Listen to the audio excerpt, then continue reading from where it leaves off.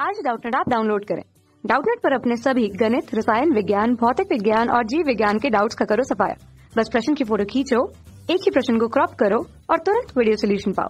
अभी डाउनलोड करें। नमस्कार दोस्तों, हमारा प्रश्न है कि दोस्तों यहाँ पर हमें दिया गया है H2O2 के अणु में हाइड्रोजन ऑक्सीजन और हाइड्रोजन के बीच में कोण कितने अंश का होता है? हमें दोस्तों यहाँ पर चार विकल्प दिए गए हमें बताना है कि इनके बीच में जो कोण बनता है ये कितने अंश का बनता है? ठीक है? तो सबसे पहले दोस्तों हम जानते हैं कि ये जो हमारा H2O2 है H2O2 इसका पूरा नाम क्या होता है? ये होता है हमारा हाइड्रोजन पर ठीक है? ये हमारा क्या है? इसका नाम होता है हाइड्रोजन पर ठीक है? तो हम दोस्तों सबसे पहले यहाँ पर जो हमारे पास हाइड्रोजन पर है, इसका हम यहाँ पर संरचना देखते हैं और देखते हैं कि इसमें कितने डिग्री का कोण बनता है। ठीक है? तो सबसे पहले हम इसकी संरचना का निर्माण करते हैं। तो दोस्तों, यहाँ पर हाइड्रोजन के दो मॉलिक्यूल है और ऑक्सीजन के दो मॉलिक्यूल है। तो दोस्तों, हम यहाँ पर लुइस के आधार पर इसकी संरचना बनाते हैं और सबसे पहले ये जो ऑक्सीजन के दो परमाणु हैं, ये क्या करते हैं? ये ऑक्सीजन एकल बंध बनाकर एक एक दूसरे से जुड़ते हैं, ठीक है? उसको हम लुइस के आधार पर देखेंगे। उसके पश्चात यहाँ पर दो हाइड्रोजन है, ठीक है? और ये दो हाइड्रोजन इस ऑक्सीजन से एक हाइड्रोजन जुड़ जाता है यहाँ पर, ठीक है? और इस ऑक्सीजन से एक हाइड्रोजन यहाँ पर जुड़ जाता है। ठीक है? अब दोस्तों हम लुइस के आधार पर इसकी संरचना बनाते हैं। तो दोस्तों हम जानते हैं कि ऑक्सीजन ऑक्सीजन का परमाणु क्रमांक कितना होता है? आठ होता है, ठीक है? तो अगर मैं इसके इलेक्ट्रॉनिक विन्यास की बात करूँ तो ये होता है हमारा दो और छः बाहरी को उसमें कितने इलेक्ट्रॉन हो गए? छः इलेक्ट्रॉन तो हम इसे छः इलेक्ट्रॉन लुइस के आधार पर दर्शाते हैं। तो ये हो गया हमारे पास एक, दो, ये हो गया तीन, ये हो गया हमारे पास चार, पाँच और ये हो गया छः हमने छः इलेक्ट्रॉन यहाँ पर दिखा दिए। उसी तरह से इस ऑक्सीजन के बाहर में भी छह इलेक्ट्रॉन दिखाते हैं। या एक, दो, तीन, चार, पाँच और ये छः ठीक है?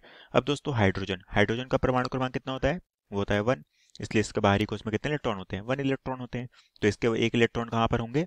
वो यहाँ पर हम इस तरह से हाइड्रोजन के दिखा देते हैं और इसके भी यहाँ पर, ठीक है? अब दोस्तों यहाँ पर क्या होता है? इलेक्ट्रॉनों की साझेदारी होती है और बंध का निर्माण होता है, ठीक है? तो ये ऑक्सीजन ये ऑक्सीजन क्या करता है? इस ऑक्सीजन के साथ में एकल बंध बना लेते हैं, ठीक है? तो इस तरह से यहाँ पर एकल बंध का निर्माण हो गया। उसी तरह से ये हाइड्रोजन एक इलेक्ट्रॉन के साथ में इसके साथ साझेदारी करता है और इस तरह से ऑक्सीजन के एक मॉलिक्यूल के साथ में एकल बंध बना लेता है और ये हाइड्रोजन भी इस ऑक्सीजन के साथ में एकल बंध इस तरह से निर्माण करता है, ठीक है? तो ये हो गई दोस्तों हमारे पास H2O2 की लुइस की संरचना। अब दोस्तों अगर हम इसे साधारण तौर पे देखें, ठीक है? तो हम इसकी जो साधारण संरचना है ठीक है? साधारण संरचना हम किस तरह से बना देते हैं? ये हम इस तरह से ऑक्सीजन को दिखाते हैं, जो कि एक दूसरे से एकल बंध में जोड़ लेते हैं और इस तरह से एकल बंध में इस तरह से हाइड्रोजन और ये हो गया हमारा दूसरा हाइड्रोजन, ठीक है? तो इस तरह से हम इसकी साधारण संरचना बनाते हैं। अब दोस्तों, हमें इनके बीच में क्या पूछा गया है? हमें इनके बीच में कोण बताना है कि इनके बीच में जो कोण है, वो कितने अंश का बनता है? और हमें प्रश्न में बोला गया है कि एच ओ एच मतलब कि इस हाइड्रोजन, ऑक्सीजन और हाइड्रोजन इनके बीच में जो बनने वाला कोण है, ये कितने अंश का होता है, ठीक है? तो दोस्तों, हम जानते हैं कि जो हमारा एच ओ एच है, इसका जो कोण बनेगा वो किस तरह से बनेगा? यहाँ से लेके यहाँ तक, ठीक है? तो दोस्तों, हम जानते हैं कि इस हाइड्रोजन, ऑक्सीजन और ऑक्सीजन, अगर इनके बीच में बीच में मैं ये वाला कोण देखूँ, ठीक है? अगर मैं एच ओ ओ के बीच में अगर ये वाला कोण देखूँ तो हम जानते हैं कि इस कोण का मान कितना होता है? वो होता है 101.9 डिग्री ठीक है? और अगर मैं, हमें प्रश्न में पूछा गया है कि एच ओ ओ एच मतलब कि एच ऑक्सीजन और उसके बाद हाइड्रोजन इनके बीच में ये वाला जो कोण बनेगा, ठीक है? अगर दोस्तों मैं बात करूँ ये वाले कोण की, ठीक है? क्योंकि यहाँ पर हाइड्रोजन क्या है? ऊपर की तरफ़ चले गया है। तो हमें यहाँ पर किसके बारे में बताना है? ये वाले कोण के बारे में बताना है। अगर मैं इसे डॉट डॉट से इस तरह से दिखाऊँ, ठीक है? तो यहाँ पर ये वाला जो कोण है, ये कितने अंश का बनता है? ये बनता है नब्बे दशमलव दो डिग्री का, ठीक है? तो ये वाला कोण की मान कितना हो गया? नब्बे दशमलव दो डिग्री सेल्सियस का, ठीक है? तो ये आ गया हमारे पास कोण।